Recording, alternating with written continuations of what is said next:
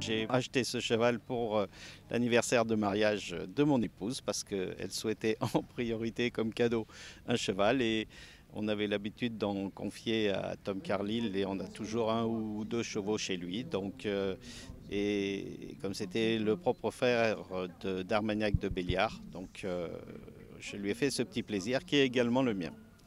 C'est Tom Carlyle qui nous l'a trouvé. Euh, lors des premiers sauts, quand on s'était déplacé, on n'était pas encore euh, dans l'affirmatif pour l'achat. Et bon, quand il le prend chez lui et qu'il le met un petit peu à sa jambe, euh, ce n'est plus le même cheval. Et donc, on a décidé de, s'emporter acquéreur. Son histoire, elle est, rigolote parce que Gérard Bresco, mon, bon propriétaire, l'éleveur de d'Armagnac de Béliard, entre autres, qui est son frère utérin, avait eu la mère et puis l'avait vendue euh, il y a 5, 6, 7 ans maintenant, pleine du Psilon. Elle a eu euh, cette pouliche du Psilon qui tourne en concours. Puis les, nouveaux acquéreurs, ben, les éleveurs d'Invictus, Claudia Dominici et Alter, Walter Antonioli. on fait le croisement avec Malito qui convenait bien à Palme, parce que Palme c'était une jument qui avait tendance à produire un petit peu, lourd.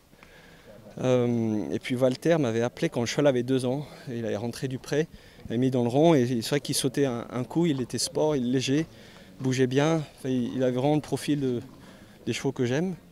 Et le cheval, moi, il me plaisait vraiment, quoi. il m'avait tapé un peu dans l'œil par son aisance, ses aptitudes, euh, que ce soit dans sa locomotion, dans son influx, dans, sa qualité à l'obstacle.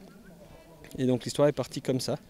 Donc euh, sans même le vouloir, quoi, je retrouve une famille que je connais bien. Euh, et, je suis content, c'est un chouette cheval et, je remercie un peu tout, le monde dans son entourage qui a contribué parce que, a priori, les cadeaux de mariage, ça se vend pas. Ça se revend pas en tout cas, pourvu que le mariage y dure. Bien sûr, on remercie Tom parce que ça fait des années que nous, travaillons avec lui et qu'il nous fait découvrir euh, le haut et le très haut niveau. Bon, on a la chance euh, au Hara de pouvoir aussi pratiquer ce niveau-là avec euh, Stéphane Landois et puis euh, avec nos filles au niveau amateur. Donc on remercie toute la famille et, les copains parce que le concours complet, c'est un sport de, copains. Les objectifs, c'est d'assurer la relève d'Armagnac de Béliard, qui on a de la chance, c'est un très très bon cheval. Et l'objectif, c'est donc de, le former chez Tom parce que maintenant, il a tout à fait les installations pour euh, emmener les chevaux euh, au, haut niveau, puisque son, cross est absolument reproduit exactement ce que l'on peut trouver euh, dans tous les parcours nationaux ou internationaux. Donc c'est une bonne école pour les chevaux.